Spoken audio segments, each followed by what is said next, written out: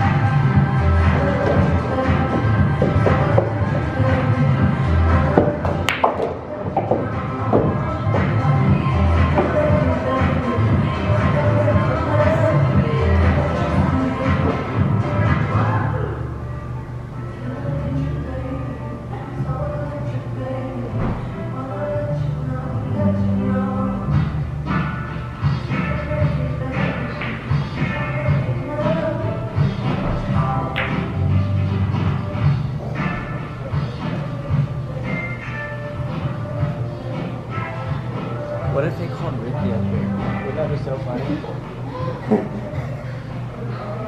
the closer we get to the end, they call Ricky. I know.